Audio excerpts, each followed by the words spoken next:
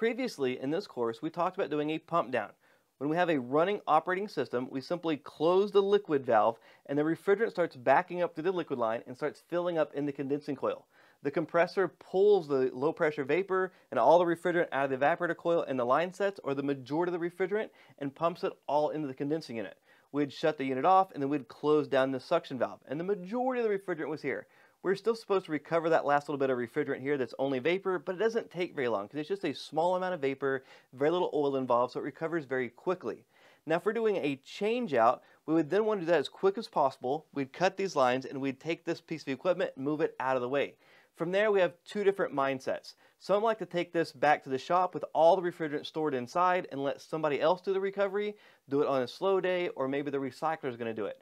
Other people like to recover it while it's still at the job. Me personally, I like to recover while I'm still at the job. So I'm already doing a whole bunch of other work. I already have my recovery machine extension cord set up.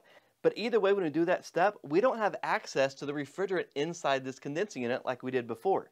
When we close these valves off, it separates this side from this side and this side from this side. And our Schrader port, where we hook our gauges and our hoses to, are connected to this side when these valves are closed. So if we're going to try to do recovery, we wouldn't be able to use these ports as they sit. So we have several different options. The modern and newest method, and the one I would recommend the most, would be this method here. We talked before about these quick connects, and there's a little tool where you can disconnect and reuse these. What I would do was take a piece of copper on the other side, braze on a little service port to where we have our gauges can hooked up, and this is one for 3 8 and I could just simply slide this right onto that existing 3 8 connection, and that would open this valve back up, and I could start recovering it.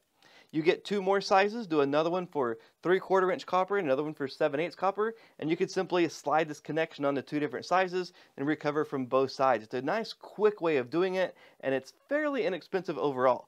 In the old days, to make that same thing happen, we would have to pinch this closed with some type of pliers, braze that connection closed, and then open the valves and then start recovering.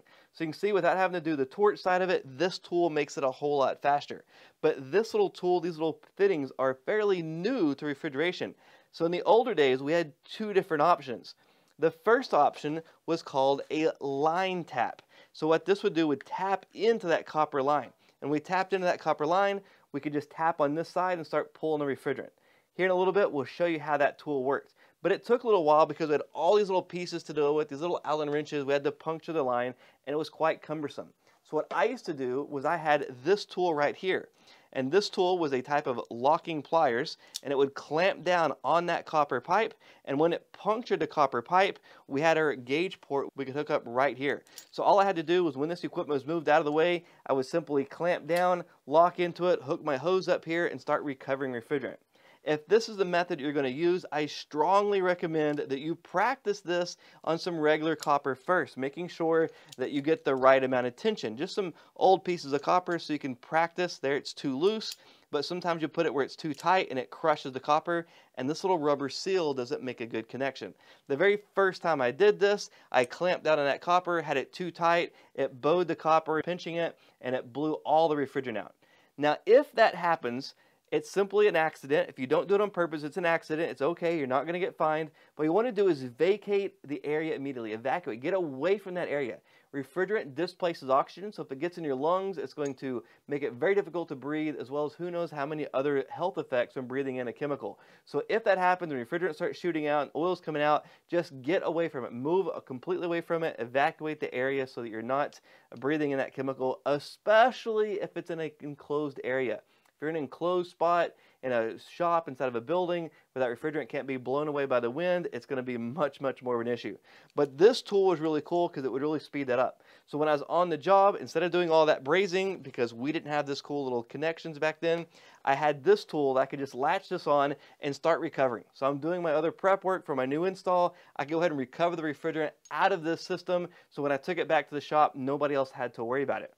Now, the great news about this is if you're just getting started and you want to practice doing recovery, most every shop across the country has this equipment sitting there in the shop. And there's a huge arguments on whose responsibility it is to recover that refrigerant, but companies have this and they need to have the records of recovered refrigerant. So a great way to get started doing recovery is volunteering your time to recover equipment from shops from their scrap pile. Once you start recovering that re refrigerant, they have a record of the refrigerant they recovered and it gives you some really great practice without having to deal with anybody's actual pieces of equipment on that customer's unit. It's a great way to start. Now let's talk about these line taps. These are old school ways, but if you had a situation where you had a type 1 appliance, or if you had a pump down like this and you didn't have any of the other methods, this is what we used to do. Again, type 1 appliances don't have any service ports at all. So back in the day, we had these things called line taps. They worked with type 1 appliances, or if we had to do a pump down and we wanted to recover from the back side. We had multiple different sizes of these that we'd use, and the box said what sizes. For example, this red box here, it had a size of half inch and 5 eighths. The copper that we have is 3 eighths, so we're going to use this box that says 1 quarter, 5 sixteenths, and also 3 eighths. So it worked for several different sizes. The part that's going to go around the copper is right here, and as we had smaller and smaller sizes, we had these little adapters that we used. So if we're going to use quarter inch copper, I would use the thickest adapter, and that would fit right inside of my bottom piece, and notice how it adapted and made it where it would take up less space. And if we had the 5 16 I would use the smaller adapter, and but we're using it 3 8 so we don't need the adapter at all. So what's cool about this is it has this little piece of rubber right here.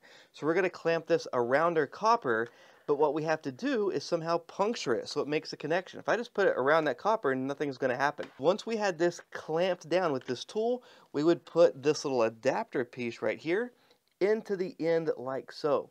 And then we had the cap, and the cap was built just right to where it would connect to that.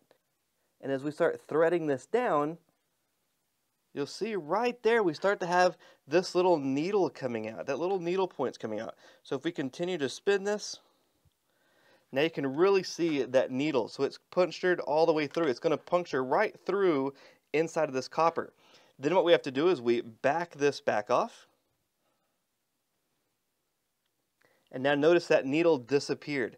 What it had done is it punctured the copper, then we take that little adapter out of the cap, and we our gauge up to this port and we're ready to start recovering refrigerant. To show you what that's going to look like, we'll go ahead and do the whole process on this copper. So we have that little rubber piece, we put our copper on. So we put it right around the copper, and this back side goes right on the back side of the copper like so. And then we're going to use our little, these little Allen bolts go right in on the sides. And this whole kit comes with an Allen wrench already. So we have a little Allen tool, just going to get this one started. Then we'll get the Allen tool on the other side, get it started.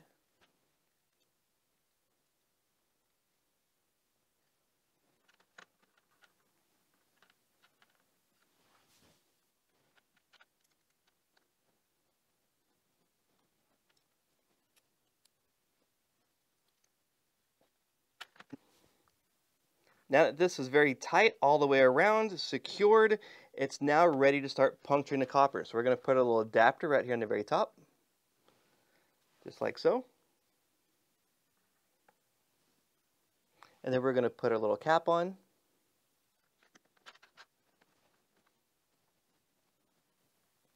And it stopped. And once it stops, we don't go anymore. I've had students before where they hook pliers to this and try to keep going. And if you keep going, all it's going to do is bust the very top out of this cap. You don't want to bust the top out of that cap. So that's going to be an issue. But uh, we've now punctured through the copper. Don't know if we'll be able to see it, but there's a little needle that's pumped right through that copper. So now what we're going to do is we're going to loosen this cap and we'll see if that needle will back back off.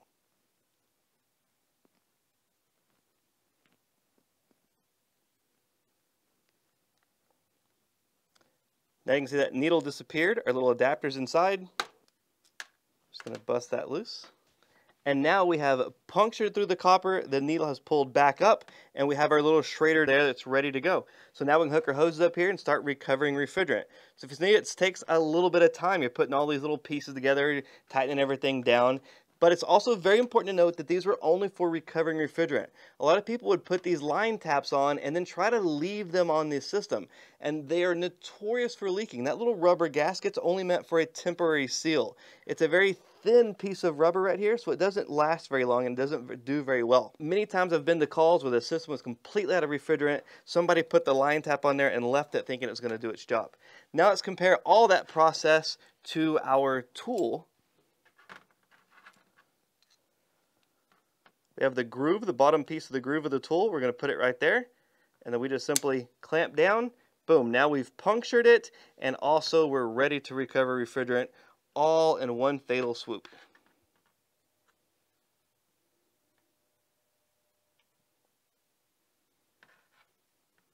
So there you have it, three different ways of recovering equipment from a pump down and two different ways of recovering equipment from a type 1 appliances with no service ports.